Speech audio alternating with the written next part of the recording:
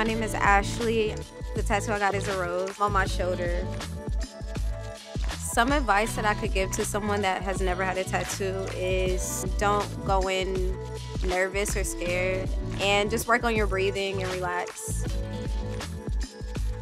I like roses. It's my favorite flower. I don't know. I just think while we're alive, everybody deserves the roses.